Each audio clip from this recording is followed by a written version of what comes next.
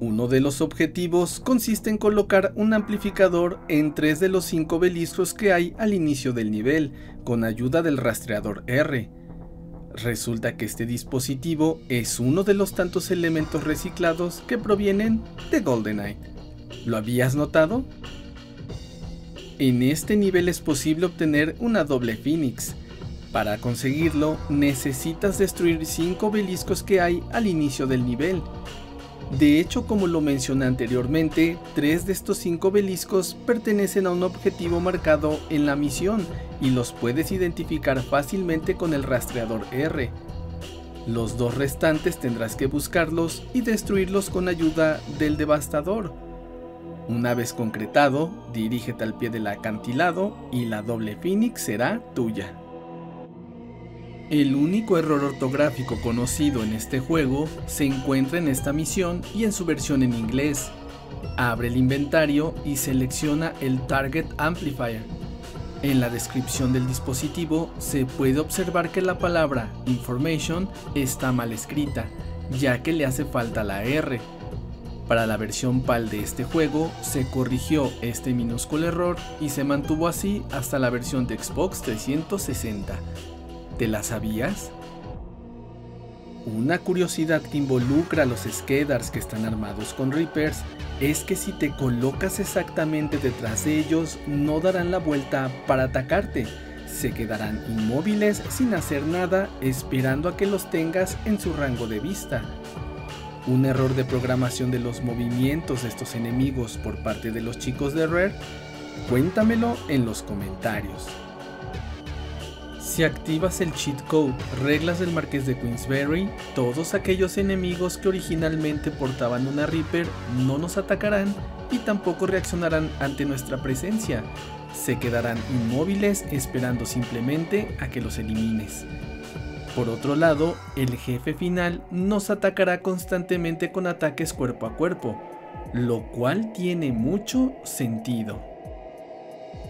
Si por un descuido agotaste toda la munición de la devastador, irremediablemente fallarás el objetivo que consiste en eliminar al líder Skedar, porque no podrás destruir el muro de acceso al santuario. Es posible fallar este objetivo y volver a completarlo sin mayor problema. Para lograrlo, solo necesitas haber obtenido la Phoenix previamente. De esta manera, podremos usar esta arma en su modo secundario para destruir el muro por el cual debemos escalar, así como el muro que nos permite ingresar al santuario. Con esto el objetivo se marcará como incompleto y conseguiremos continuar con la misión. Es posible entrar al santuario por un camino alternativo, pero requiere de un poco de habilidad. De hecho, la ocupan los speedrunners para hacer menos tiempo. Para conseguirlo, desde esta sección del acantilado debemos correr en dirección hacia el precipicio, de tal forma que tracemos el borde de esta pared. De esta extraña manera llegaremos al otro lado del acantilado para accesar al santuario. Seguramente notaste que en este nivel los Skedars hacen un rugido,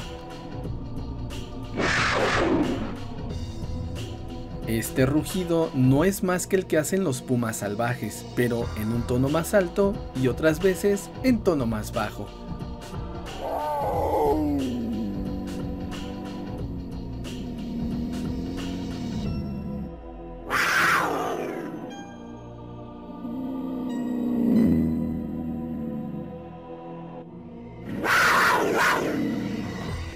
Interesante, ¿no lo crees? En gran parte del decorado de las ruinas Esquedar podemos ver el marcado en la pared el número 007. Este es una excelente referencia no solo al agente secreto más famoso que haya existido, sino también al grandioso juego que Rare desarrolló y que todos conocemos, GoldenEye. En la gran mayoría de los niveles de este juego existen enemigos invisibles que están a la espera de entrar a escena en momentos específicos, para este escenario en particular hay 6 enemigos invisibles que fueron programados para fungir como regeneradores de enemigos una vez que destruimos el muro para activar el puente. Es posible eliminarlos y cortar con el proceso de regeneración, para lograrlo necesitarás de la ayuda de un arma explosiva. El primero de ellos está casi inmediato a la entrada del santuario, del lado derecho. El segundo y el tercero los encuentras justo al doblar en esta esquina. El cuarto enemigo está pasando el puente y está escondido justo doblando a la derecha, mientras que el quinto está casi inmediatamente detrás de este pilar. Finalmente, el sexto enemigo está ubicado al subir por esta plataforma. Una vez que hayas eliminado estos seis molestos enemigos, no volverán a reaparecer jamás. ¿Te la sabías? Justo debajo del puente que nos permite entrar al santuario, si ocupamos el escáner de rayos X o la Farsight y miramos hacia el suelo, descubriremos que debajo hay una estructura que no es otra cosa más que una plataforma color negra. Ocupando códigos como el GameShark es posible penetrar a esta zona y observar que efectivamente se trata de una estructura sólida por la que es posible caminar.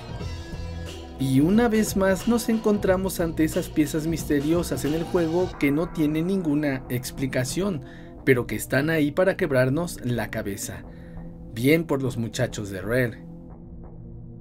Este escenario junto con nave de ataque, asalto, son los únicos niveles de todo el juego donde es posible tener a la mano un arma slayer con el cheat code activo, todas las armas en solo. No es difícil imaginar el porqué, pero por si acaso alguien en la audiencia lo desconoce, es porque en modo secundario esta arma dispara un proyectil con cámara de seguimiento que puede poner en evidencia muchos elementos del juego si te sales del mapa. Bastante revelador. Es común arrebatar el arma a los enemigos si disparas sobre ella, pero no puedes hacer lo mismo con ningún esquedar que esté armado, Cualquier método que intentes para querer quitar el arma de sus manos te será inútil. Lo anterior claro, al menos que los elimines. En el pequeño altar donde debemos dejar un arma a modo de ofrenda, existe una diminuta computadora oculta a nuestros ojos, por debajo de la estructura. Para verla es necesario ocupar el escáner de rayos X o la Farsight, esta computadora en realidad es el mismo modelo que vemos en el edificio Lucerne, propiedad de Datadyne. Entonces, ¿por qué está esa computadora ahí? ¿Cuál es su propósito?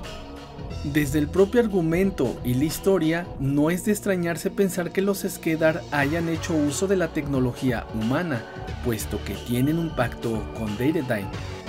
Desde la perspectiva de la programación del juego, esto podría ser un atajo de programación. Rare aparentemente ocupó este dispositivo para activar la puerta que está en la parte superior, en el momento en que colocas el arma.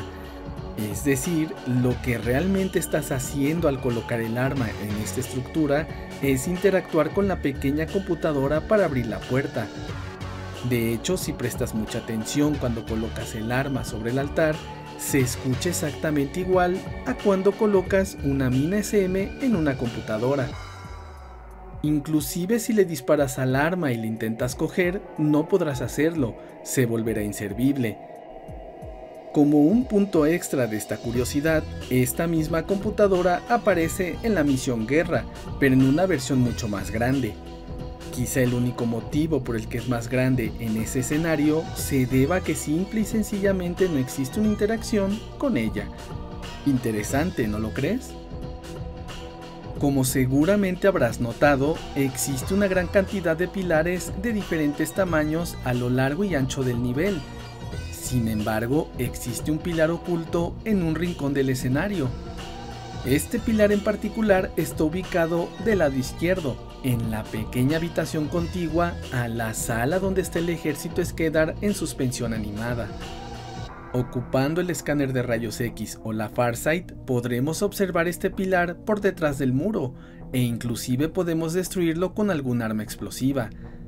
Ocupando códigos como el GameShark es posible llegar hasta donde se encuentra e inclusive caminar encima de él, ya que es un elemento sólido de colisión. La pregunta obligada es, ¿por qué este pilar está oculto? Si entramos en la sala donde está el ejército Skedar, encontraremos la respuesta. Resulta que en esta sala hay dos pilares idénticos, tienen el mismo tamaño y forma y ambos pueden ser destruidos. Además, estos otros dos pilares son igualmente elementos sólidos de colisión por los que puedes caminar si ocupas códigos como el Game Shark. Hasta ahí todo normal. Ahora bien, si seleccionamos la misión guerra y nos dirigimos a este mismo sitio, no estará ninguno de estos tres pilares, esta es la prueba contundente de que en realidad estos tres pilares fueron programados para aparecer en este escenario en particular, y no en guerra. Con todo el misterio aclarado, es probable que Rare en alguna etapa temprana del desarrollo del juego haya incluido estos tres pilares en esta zona, y que por alguna extraña razón decidió quitar uno y esconderlo detrás del muro. Es bien sabido que Rare dejó muchas piezas sueltas en este juego para echar algunas risas entre ellos, dejándonos a los jugadores con muchísimas preguntas en lugar de respuestas. Y quizá en lugar de omitir el pilar o borrarlo, simplemente decidieron ocultarlo y dejarlo como una curiosidad. ¿O tú qué piensas? Cuéntamelo en los comentarios. Una curiosidad que podemos encontrar si jugamos en modo enfrentamientos es que el jugador que juega como el malo ocupará un esquedar como enemigo, pero en su forma humana. Habría estado muy interesante que pudiéramos controlar a estos enemigos en su forma real, pero lamentablemente Rare no se tomó el tiempo suficiente para hacer esto posible. Como un punto extra de esta curiosidad, particularmente este nivel se vuelve sumamente difícil para el que controla a los Skedars, ya que si aparece en el cuerpo de un Skedar sin arma, así tendrá que pelear, sin arma. La siguiente curiosidad quizá pudo haber pasado desapercibida por la gran mayoría de los jugadores, ya que a lo largo y ancho de toda la primera sección de este escenario existen unos dibujos esculpidos en los muros de las ruinas. Estos dibujos no son otra cosa más que el símbolo que representa a la religión de los Skedar, mismos que se pueden apreciar en esta manta y en estas pequeñas esculturas, al igual que al final del nivel con el líder Skedar. En la versión del Nintendo 64 la calidad no era suficientemente buena y por eso lucían con unas líneas algo extrañas, pero para la versión de Xbox 360 la calidad mejoró y se pueden apreciar muchísimo mejor. ¿Lo habías notado? Si ocupas el dispositivo de ocultación frente al líder Skedar, será capaz de observarte y de atacarte, uno podría pensar que no debería de ser capaz de vernos, pero sucede que este enemigo no está programado para ignorarte una vez que estás oculto. Y esto ocurre porque el dispositivo de ocultación no es un elemento indispensable de este nivel. Por fin hemos llegado casi al final de este juego, pero aún no sabemos quién es Elvis y cómo fue que surgió. Elvis es un personaje muy completo que pasó por muchos cambios antes de convertirse en el pequeño Mayan gris que conocemos. En palabras de Bill Jones, miembro del equipo de desarrollo de Perfect Dark, cuenta que Elvis, siendo un personaje relevante en la historia, debía tener algo con lo que la gente pudiera identificarse. Originalmente querían que fuera un personaje gracioso, con toque inglés, muy al estilo del comediante Tim Brooke Taylor, pero al final desecharon esa idea. Este simpático personaje se concretó como un amante de la cultura estadounidense, vestido con sus zapatos de gamuza azul, chaleco blanco con estrellas y franjas y acento norteamericano, haciendo referencia nada más ni nada menos que al mismísimo rey del rock and roll, Elvis Presley, proveniente del planeta Graceland. En cuanto a su apariencia, Jones cuenta que está inspirado en los típicos hombrecitos alienígenas llamados los grises de las conspiraciones alienígenas de los años 70 en Estados Unidos. Pero ahí no acaba todo. Resulta que Elvis fue usado como un elemento de testeo dentro del juego, que ayudó muchísimo al desarrollo del mismo. De acuerdo con Justin Koch, tester de Perfect Dark, cuenta que Elvis en ciertos niveles desaparecía del escenario. Como los pasillos en Perfect Dark tenían formas raras como de octágonos en las esquinas, ciertos personajes del tamaño de Elvis se usaban para tratar de encontrar puntos de conflicto donde los personajes terminaban saliéndose del escenario. Es por ello por lo que Elvis conservó ese tamaño, porque personajes como él eran útiles para hacer pruebas. ¿Quién lo diría, no? Finalmente fue Steve Malpass, parte del equipo de desarrollo de Perfect Dark, responsable de darle voz inspirándose completamente en el maestro Yoda de Star Wars, aunque con un tono más alto. ¿Te la sabías? En este nivel puedes conseguir escudos tecnológicos en las dificultades agente y agente especial. El primero de ellos lo encuentras pasando los dos Skedars armados con Reaper y está ubicado a la izquierda subiendo las escaleras. El segundo está después de subir por la escalinata y doblar a la derecha en esta bifurcación. Está ubicado al fondo de esta área. El decimoséptimo queso y último de este juego lo encuentras justo al subir la escalinata. Al pasar por esta zona, dobla tu derecha y avanza por esta área hasta llegar a un callejón sin salida con una grieta. Agáchate un poco y dentro de este sitio estará ubicado el queso. Necesitarás un arma con zoom para visualizarlo mejor. Y bueno chicos, espero hayan disfrutado de las curiosidades y huevos de Pascua de la misión número 9. Si conoces alguna curiosidad o huevo de Pascua que no haya sido mencionado, por favor compártelo en la caja de comentarios. No olvides darle manita arriba y compartir este video, suscríbete a mi canal para seguir creciendo, te lo voy a agradecer mucho. Yo soy Yoshi Fox McCloud, me despido, pásela bien, nos vemos la próxima.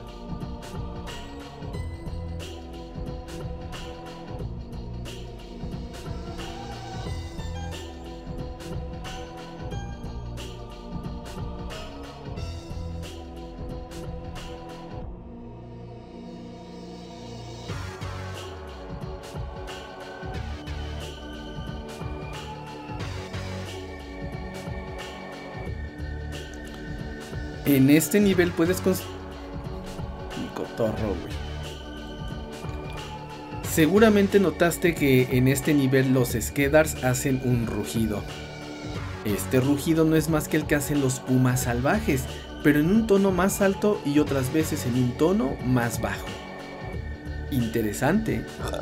Ay, cabrón. ¿Qué pedo, güey? Originalmente querían que fuera un personaje gracioso, con toque inglés, muy al estilo del, comedia del, comedian del, comediante... ¡Ta madre! ¿Es esto? ¿Es esto? ¿Es esto amigos? Güey, no mames. Muy al estilo del comediante... Ok.